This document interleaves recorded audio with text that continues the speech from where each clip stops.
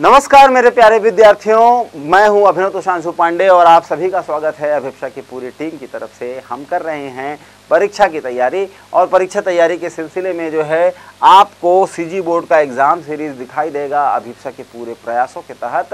यदि आप ये वीडियो यूट्यूब पर देख रहे हैं तो हमारे चैनल को सब्सक्राइब करें और हमसे लगातार जुड़कर अपनी तैयारी परीक्षा की पूरी तरीके से, अच्छी तरीके से करें। इसके अलावा जो है अभिप्सा का प्लेटफॉर्म जो है अब आपको एंड्रॉयड मार्केट में प्ले स्टोर में भी जो है अवेलेबल है। वहाँ पर से जब आप हमारा एप्लीकेशन इंस्टॉल करोगे तो आपको वीडियोस एग्ज़ाम सीरीज़ मिशन 2023 के नाम से दिखाई देंगी। लेकिन इतना ही नहीं, यहाँ पर आपको एडिशनल सपोर्ट मिलेगा। जैसे कि आप यहाँ पर शॉर्ट नोट्स देख सकते हैं माइंड मैप देख सकते हैं। इंपॉर्टेंट क्वेश्चन जो हम लोगों ने अपने नोट्स बना के रखे हुए हैं, उन सारी चीज़ों को आप यहाँ पर प्राप्त कर लेंगे। हम बात कर रहे थे विद्युत चुंबकीय तरंगे यानी कि इलेक्ट्रोमैग्नेटिक रेडिएशन के बारे में प्रीवियस ईयर क्वेश्चन में हम लोग तीन मार्क्स की तैयारी कर रहे हैं इस चैप्टर से और इस चैप्टर में जो है हम लोगों ने ऑलरेडी बहुत सारे प्रश्नों को जो है इस प्रकार से डिस्कस किया हुआ है जहाँ पर जो है हम अलग अलग प्रश्न जो है देखते जा रहे हैं। और अब जो है इसी सिलसिले में जो है हम अगला बा, अगली बात कर रहे हैं। तो हमारा अगला प्रश्न जो है 2020 में पूछा गया था और इसी तरीके से एक और प्रश्न पूछा गया था जो 2021 में था। अब सूक्ष्म तरंगों का उत्पादन किस प्रकार किया जाता है? तो दोलायमान आवेशों द्वारा जो है हम रेडियो तरंगों का उत्पादन करते हैं, लेकिन सूक्ष्म तरंगों का उत्पादन के लिए हम वैक्यूम ट्यूब यूज़ करते हैं मैग्नेट्रॉन यूज़ करते हैं, और ये सारी चीज़ों से जो है हम सूक्ष्म तरंगों का उत्पादन करते हैं। अब इसके जो है सूक्ष्म तरंगों के दो दो उपयोग क्या क्या हो सकते हैं? तो सूक्ष्म तरंगों का जो है उपयोग हम करते हैं। माइक्रोवेव है। सूक्ष्म तरंगे को इंग्लिश में क्या कहते हैं? माइक्रोवेव और अगर जो है हम माइक्रोवेव की बात कर रहे हैं तो इनका उपयोग हम जो है राडार टेक्नोलॉजी में करते हैं और इन्हीं से तो माइक्रोवेव ओवन में आप केक बना करके खाते हैं। तो भोजन पकाने के लिए भी इसका उपयोग किया जाता है। अब, अगली बात है कि उस विद्युत चुंबकीय तरंग का नाम लिखिए जिसका जो है परास छः एंगस्ट्रॉम से 4000 एंगस्ट्रॉम है। तो 6000 से 4000 एंगस्ट्रॉम तक जो है जो परास वाले विद्युत चुंबकीय तरंगे हैं ये हैं परा बैगनी परा बैगनी यूवी ठीक है? और परा बैगनी तरंगे हैं। अब इसके बाद में इसके दो महत्वपूर्ण उपयोग लिखिए।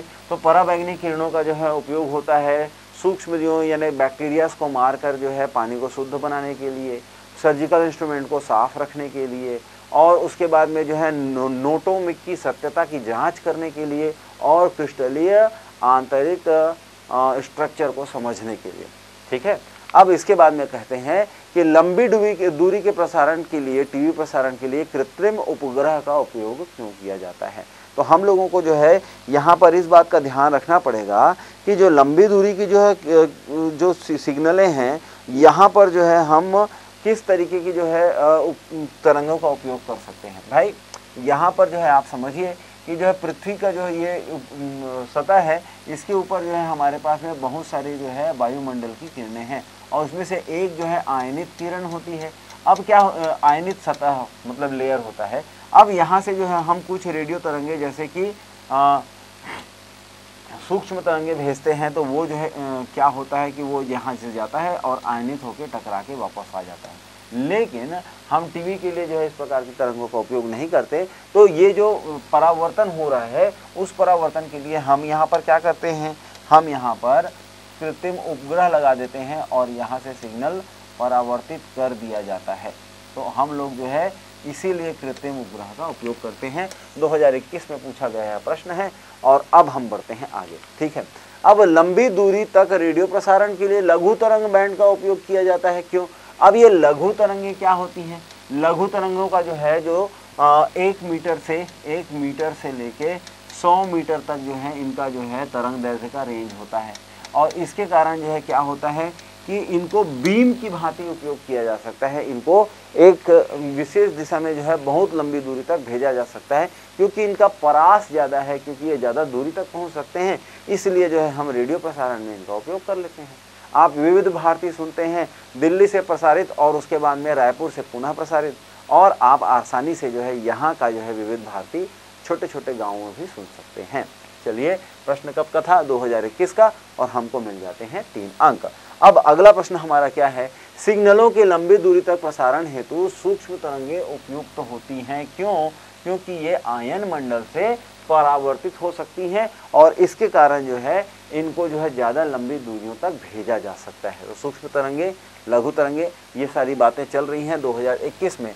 आपको जो है प्रश्नों का पैटर्न देख करके ये चीज़ें समझ में आएँगी कि बात सिर्फ़ तीन अंकों की है, लेकिन हमको सीखने के लिए भी कोई बहुत ज़्यादा बर्डन नहीं है और इसलिए हम आसानी से जो है इनकी तैयारी कर सकते हैं।